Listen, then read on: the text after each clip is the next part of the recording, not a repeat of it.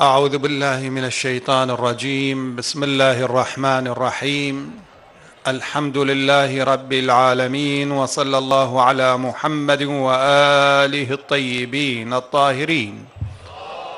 اللهم صل على محمد وآل محمد واللعن الدائم على أعدائهم إلى قيام يوم الدين.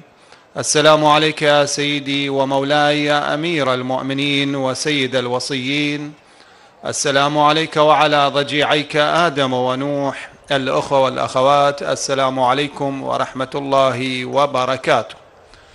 نرفع آيات الحزن والأسى إلى مقام النبي صلى الله عليه وآله وإلى الأئمة الأطهار لا سيما الإمام الحجة عجل الله تعالى فرجه الشريف وإلى مراجع الدين وإلى المؤمنين الكرام بمناسبة استشهاد الإمام موسى الكاظم صلوات الله وسلامه عليه فعظم الله أجورنا وأجوركم ورزقنا الله زيارته في الدنيا وشفاعته في الآخرة. الإمام الكاظم صلوات الله وسلامه عليه هو الإمام السابع من أئمة المسلمين عليهم أفضل الصلاة والسلام.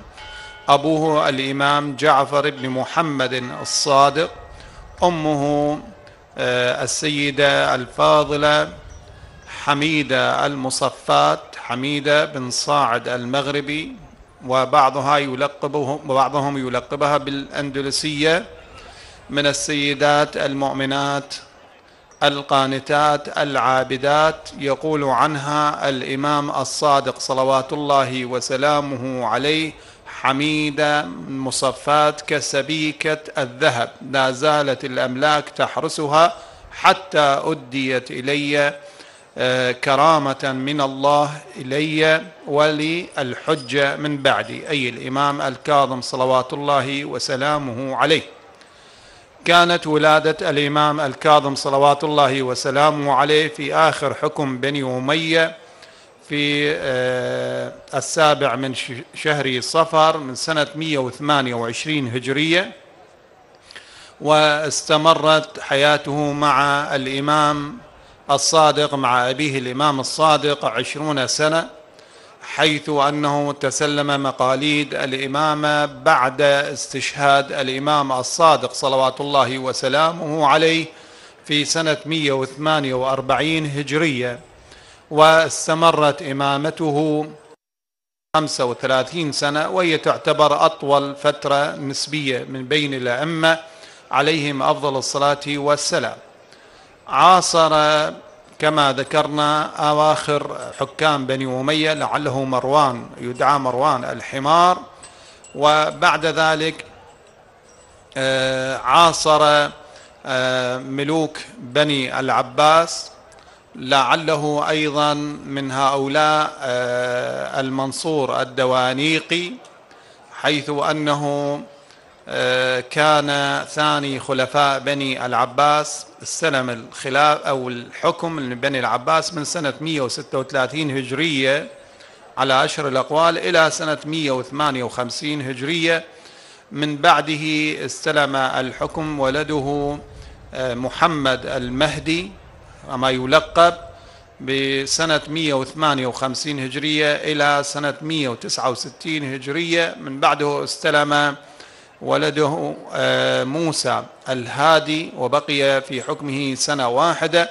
ونلاحظ أنه كانت هناك العلاقة غير طيبة مع الإمام الكاظم في عصر المهدي الذي استمر عشر سنوات حيث قام بسجن الإمام الكاظم صلوات الله وسلامه عليه. والتضييق عليه. وكذلك ولده من بعده موسى الهادي الحاكم العباسي ابن محمد المهدي ودام حكمه سنة واحدة. أيضا كان مضيقا على الإمام الكاظم صلوات الله وسلامه عليه وكان ينقم على الإمام الكاظم ويعتبره هو السبب في ثورة فخ. للثورة التي قام بها آه، الشهيد الحسين بن علي من أحفاد الإمام الحسن المجتبى صلوات الله وسلامه عليه. فضيق على الإمام كثيرا لكن حكمه لم يدم إلا سنة واحدة. من بعده استلم هارون العباسي من سنة 169 هجرية أو 170 هجرية إلى 193 وهذه فترة طويلة نسبيا لاقى فيها الإمام الكاظم صلوات الله وسلامه عليه التضييق والمآسي من هذا الحاكم.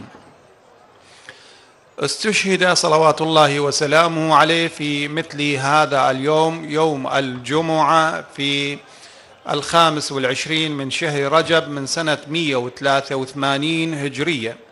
ودفن في مقابر قريش في بغداد في مقره في قبره الآن الكاظمية وأصبح مزارا وبابا لقضاء الحوائج. يقول عنه أحد علماء السنة وهو من زعماء المذاهب الأربعة الشافعي يقول أن الدعاء عند قبر الإمام موسى بن جعفر هو الترياق المجرب.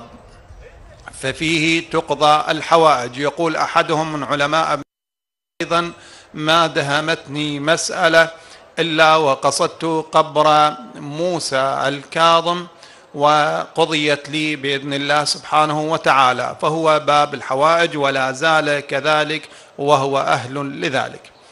الإمام الكاظم صلوات الله وسلامه عليه حاله حال الأئمة الذين سبقوا كانت هناك آه، مجاذبات في الحياة مع الحكام لأن الظلمه يخشون الحق وأهل الحق ويعلمون بميل الأمة بقلوبها ونفوسها إلى أهل البيت صلوات الله وسلامه عليه.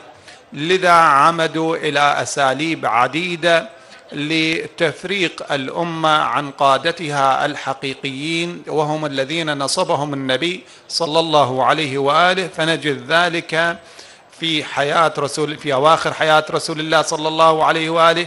كانوا مما يتضايقون بعضهم يتضايق من أمير المؤمنين عليه السلام وهكذا استمرت بعد شهادة النبي صلى الله عليه وآله. وبقي هذا الظلم والحقد متوارث لدى الظالمين على أهل البيت صلوات الله وسلامه عليهم. الحكومة العباسية عمدت إلى جملة من الأمور التي من خلالها آه، أرادوا تفريق الأمة وتنزيل مكانة أهل البيت عليهم أفضل الصلاة والسلام عند الأمة الإسلامية. ولكن محاولاتهم باءت بالفشل بحمد الله. من هذه الأمور ما قام به آه، الحاكم الثاني من حكام بني العباس أبو جعفر المنصور الدوانيقي بتأسيس المدارس الدينية المناقضة أو المجابهة لمدرسة الإمام الصادق صلوات الله وسلامه عليه فيذكرون في التاريخ بأنه أسس جملة من المذاهب في قبال آه، مدرسة الإمام الصادق صلوات الله وسلامه عليه كما يذكرون في نشأة أو آه، تكليف آه، مالك بن أنس بكتابة كتابه الموطأ وذكر له مالك بأن هناك من يعارض هذه الأحكام أو غيرها وخصوصا أهل العراق فقال أني أوطئ لك رقاب العباد فلذلك سمي بالموطئ وقال بعضهم لأنه طلب منه أن يوطئه أي يسهله للقراء وغيرها. من ذلك المهم بأنه عمد إلى هذا الأسلوب آه، في قبال مدرسة الإمام الصادق صلوات الله وسلامه عليه وهكذا بقي يكيل الحقد والحسد إلى الإمام الصادق صلوات الله وسلامه عليه حتى أنه أدى ذلك إلى قتل الإمام الصادق صلوات الله وسلامه عليه ذلك في سنة 148 هجرية. أيضا من الأمور التي آه، ركز عليها بنو العباس هي أنهم هم أقرب من أولاد علي بن أبي طالب عليه السلام إلى النبي صلى الله عليه وآله وركزوا على أن على أن أولاد علي هم أولاد بنت آه، هم ينتمون إلى عم النبي العباس ابن عبد المطلب وهكذا فيكونون هم الوريثون الذين يرثون النبي صلى الله عليه وآله في السلطة. وعمدوا إلى ذلك بعدة أساليب آه، معينة منها أنهم ركزوا على هذه القضية بأن الحسن والحسين أبناء علي لا أبناء رسول الله صلى الله عليه وآله. وكان أيضا هذا الأسلوب قد اعتمده من قبلهم آه، طاغي العراق آه، الحجاج. عليه ما عليه من الله سبحانه وتعالى. في ذلك أيضا في محادثته أو في لقائه مع التابعي سعيد بن جبير.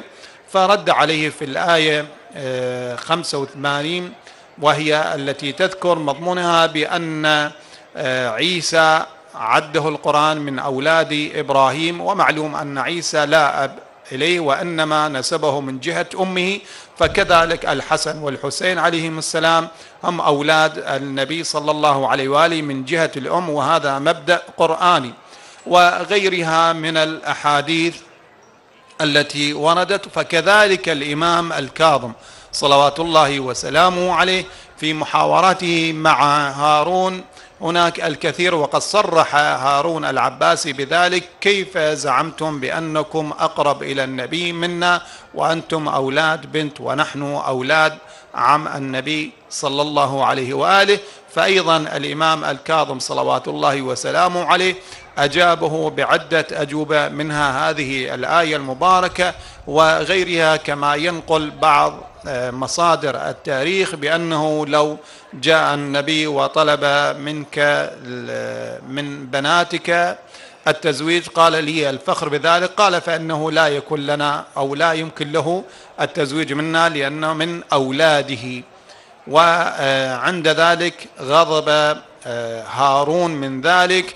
وأيضا هناك مسألة أخرى كما يذكرها التاريخ بأن الذين لم يهاجروا.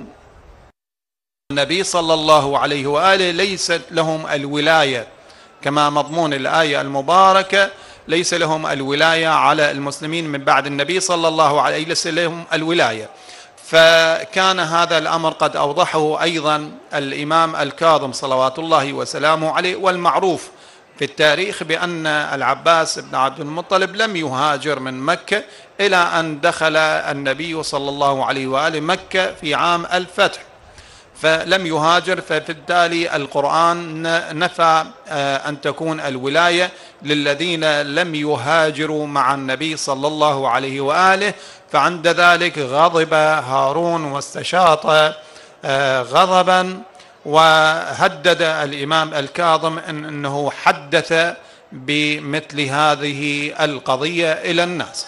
وتضايقت هارون من الإمام الكاظم نتيجة ميل الأمة الإسلامية إلى الإمام الكاظم صلوات الله وسلامه عليه ويعتبره تهديدا لحكمه وكرسيه فعزم على زيارة المدينة المنورة. بعضهم يقول لأجل العمرة وبعضهم قال في موسم الحج في سنة 109 أو 70 هجرية. وزار قبر النبي صلى الله عليه وآله وقبله أمر وقبل ذلك أمر والي المدينة بإحضار وجوه المدينة من المسلمين والإمام الكاظم صلوات الله وسلامه عليه بصورة خاصة. فعندما دخل إلى قبر النبي صلى الله عليه وآله سلم على النبي أمام الناس بقوله السلام عليك يا رسول الله السلام عليك يا ابن عم. ثم التفت إلى الإمام الكاظم صلوات الله وسلامه عليه وبغيته أنه أقرب آه، إلى الرسول صلى الله عليه وآله وبأنه الوريث للنبي صلى الله عليه وآله فما كان من الإمام الكاظم صلوات الله وسلامه عليه إلا أن تقدم إلى قبر النبي صلى الله عليه وآله وقال السلام عليك يا رسول الله السلام عليك يا أبا. فالتفت هارون إلى من حوله وقال أن هذا هو الفخر أن هذا لهو الفخر فعند ذلك عزم على قتل الإمام الكاظم صلوات الله وسلامه عليه وأوهم الناس وخاطب النبي هذه غطرسته وطاغوته. خاطب النبي صلى الله عليه وآله أعتذر منك يا رسول الله فإني أريد آه، التخلص من موسى لأنه يريد أن يفرق بين الأمة وهذا من طغيان هارون على النبي صلى الله عليه وآله ومن جرأته على الله وعلى رسوله. فمنذ ذلك العام بعد العديد من السجون التي زجه فيها منذ عام ألف منذ عام 179 هجرية عزم على سجن الإمام وسيره إلى البصرة فسجنه في البصرة. عند الوالي وهو من أقرباء هارون بقي لمدة سنة ثم نقله إلى بغداد وضيق على الإمام كثيرا ويذكرون أنه في آخر السجون التي دخلها الإمام الكاظم صلوات الله وسلامه عليه هو سجن السندي ابن شاهق ذلك الإنسان الفظ الغليظ. البعيد المبغض لأهل البيت عليهم أفضل الصلاة والسلام فكان مضيقا على الإمام الكاظم أشد التضييق حتى وافاه الأمر من هارون بسم الإمام الكاظم صلوات الله وسلامه عليه. يذكرون أنه قدم له العنب أو بعضهم الرطب فأجبر الإمام على الأكل من ذلك الطعام وهو المسموم فبقي الإمام صلوات الله وسلامه عليه يقارع السم في سجنه وحيدا غريبا وهكذا استشهد صلوات الله وسلامه عليه من هؤلاء المجرمين هارون الطغمة العباسية آنذاك في سجنه في مثل هذا اليوم من يوم الجمعة. في الخامس والعشرين من شهر رجب من سنة 183 هجرية وهكذا طويت صفحة نور من أنوار أهل البيت صلوات الله وسلامه عليه وشيعه شيعة أهل البيت عليهم أفضل الصلاة والسلام إلى حيث قبره الآن في الكاظمية الذي أصبح ملاذا ومزارا للمؤمنين والقاصدين وبابا للحوائج فسلام عليه يوم ولد ويوم استشهد ويوم يبعث حيا.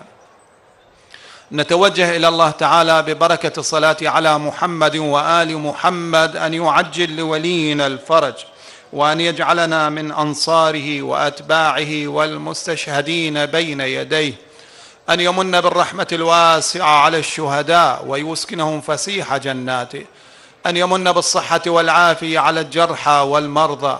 أن يمن بالأمان على المؤمنين في مشارق الأرض ومغاربها. أن يجعلنا والجميع من الثابتين والمتمسكين بولاية أمير المؤمنين عليه السلام إنه سميع مجيب والحمد لله رب العالمين وصلى الله على محمد وآله الطيبين الطاهرين.